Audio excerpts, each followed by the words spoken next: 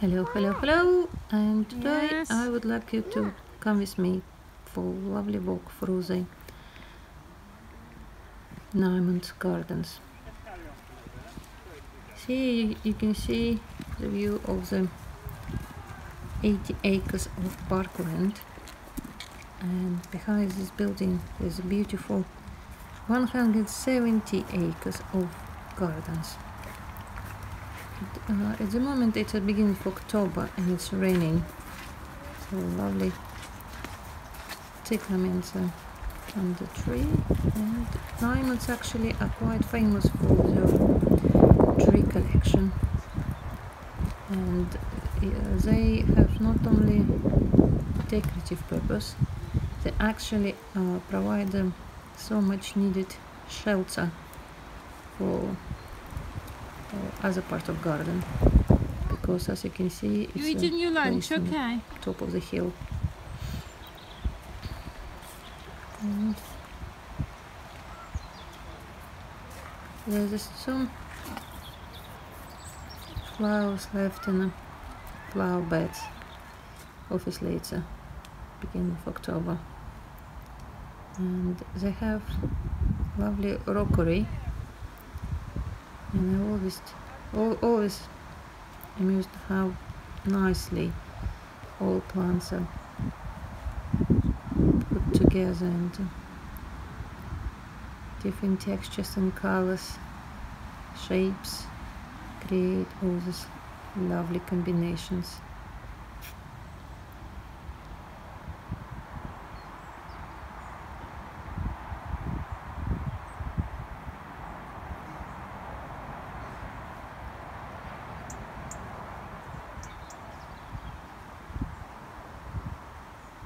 Some of them are finished blossoming, but still, what is left of it looks quite dramatic, I think.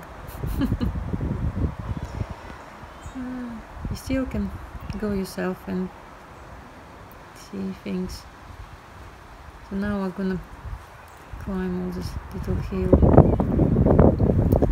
Give you some panoramic view.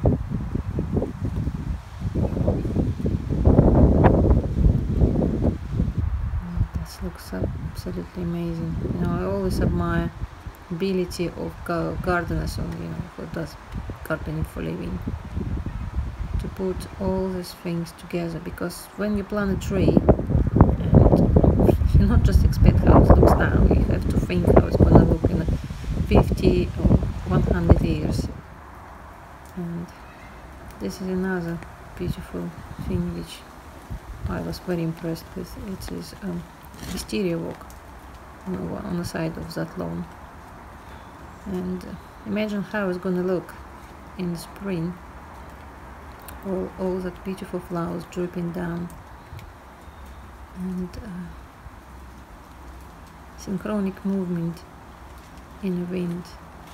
Oh. We must come here in the spring.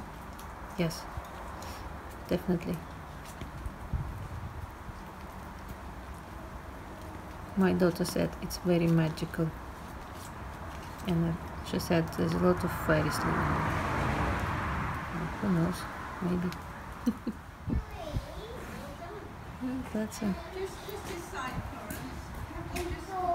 lovely salvia.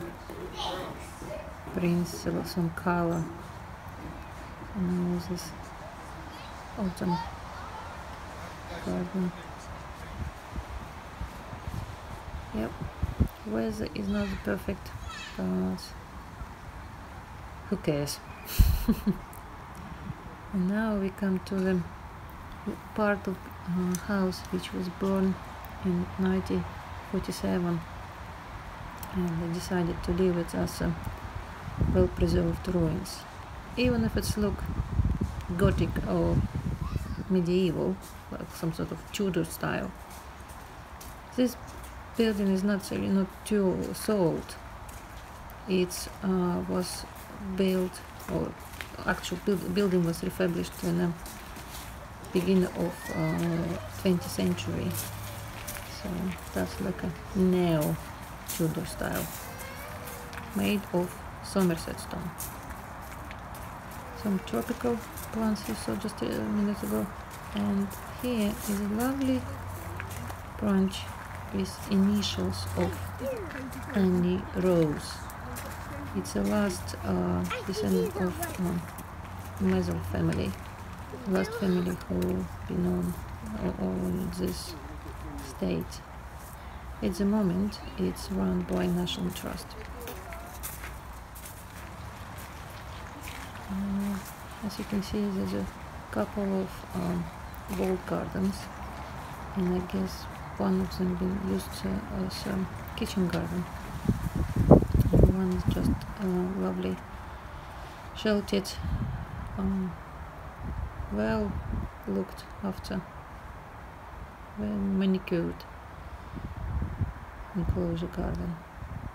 And some of house is still under roof, and uh, in the summertime you can actually go inside.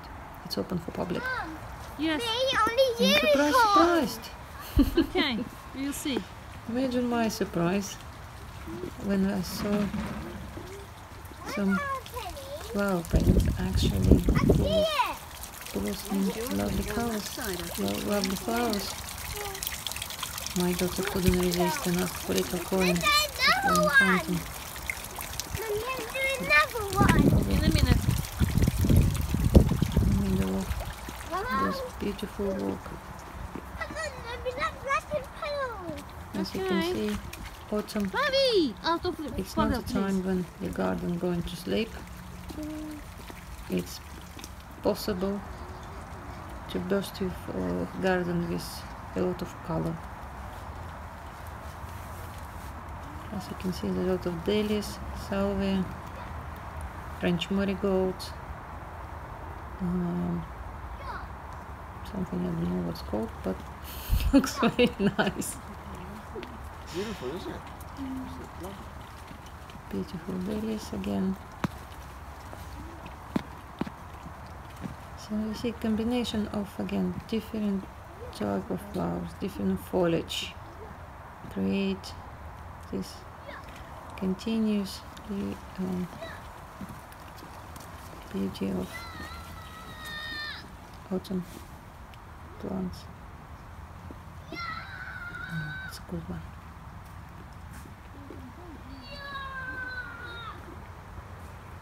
And this is Amarale, Amaryllis. Brings a lot of texture. Now we're in the uh, rose garden, and because we had a few uh, days with heavy rains, unfortunately, even some still blossoms of rose look a bit pathetic because they got damaged by water. I noticed uh, a few um, David Austin rose roses uh, in this garden. So that's another reason to come here in springtime or maybe early summer. Just to catch all beauty of the there's some left you see on top. But it's a wrong time to check on the rose garden I'm afraid. So I hope you enjoy. Thank you for watching.